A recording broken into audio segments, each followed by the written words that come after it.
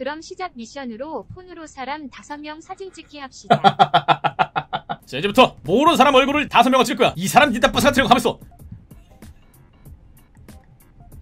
타이어 반갑습니다. 네 안녕하세요. 반갑습니다. 여러분들 GT5에 드디어 신차가 나왔다고 해요. 이 인터넷 나무산 드레스 이쪽에 보시면 신규 차량인 캐논 부하가 있는 것을 볼 수가 있습니다. 2인승이고요. 128만 달러 최고속도가 무려 4칸 그리고 밑에 있는 것은 솔직히 별 볼 일이 없긴 합니다. 흰색으로가 아니라 노란색으로 구별을 클릭. 여러분들 제 차량에 도착한 것을 볼 수가 있습니다. 이것이 바로 캐논 부어. 그 80년대 스타일의 레트로 감성을 볼 수가 있겠습니다. 자동차를 옆에서 보시면 뭔가 디자인이 굉장히 단순해요. 밀짚 모자 같은 느낌이 상당히 강하네요.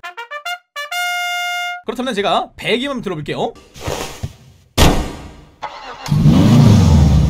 르르릉 하는 느낌. 자 이동수단. 모두 딸깍 삑오 엔진 뭐야? 하나 둘셋넷 다여. 그리고 보시면 시트도 푹신푹신해 보이고. 그리고 뒤쪽에 이거. 이거 지금 봐야겠다. 제 자동차 뒤에 서주세요 여러분들. 여러분들을 사랑하는 마음을 담아서.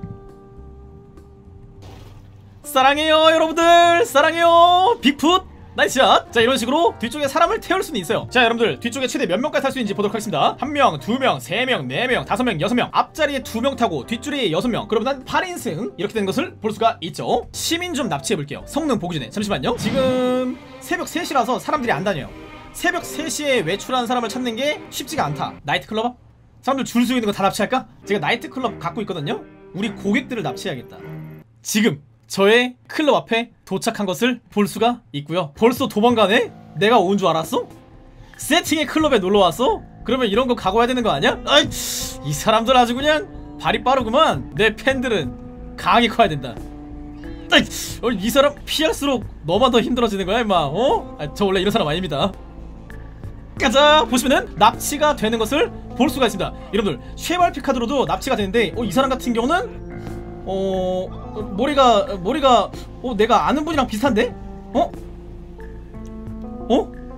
아까 그 시민이랑 닮았는데? 구동 방식은 후륜 오 사륜 구동 오케이 자 그렇다면 이제 이 차량의 직진 성능을 보도록 하겠습니다 준비하시고 출발 아 발차량이 살짝 아쉬워요 이 차량 같은 경우는 사륜 구동이었는데 뭔가 살짝 굼뜬 느낌 그렇게 빠르진 않아 이게 옛날 차니까 그리고 지금 속도를 보시면은 몇 마일인지 안 나오는데? 이게 엿을 날리면은 왼손을 들거든요? 계기판이 아 안 보이는데? 지금 보시면은 90마일 정도 대략 90마일 정도가 나오는 것을 볼 수가 있습니다. 자 그다음에는 핸들링 보도록 하겠습니다. 여기서 오른쪽. 어 뭐지? 살짝 느낌이 이상한데? 다시 볼게요. 왼쪽으로 핸들링. 보시면은 차체가 살짝 불안해요. 접지력이 약간 떨어지는 것 같은데? 차가 많이 쓸려요. 다시 한번 더 왼쪽으로. 보시면은 이런 식으로 빙판길을 달리는 것 같은 느낌을 받을 수가 있겠습니다. 드리프트.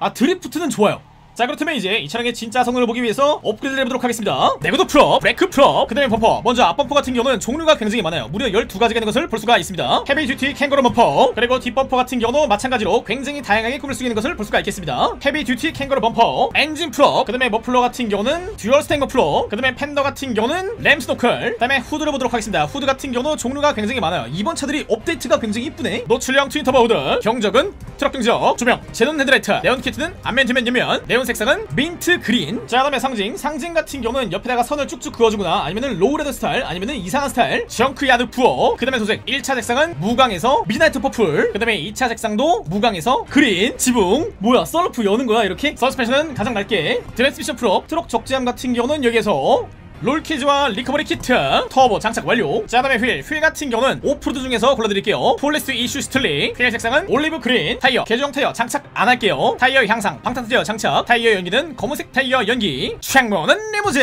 자 이제 개조가 끝났습니다. 나가볼게요. 오 이런 느낌이구나. 여러분들 이게 터보 이게 슈퍼차죠. 안쪽에 있는 사람을 제가 쏴보겠습니다.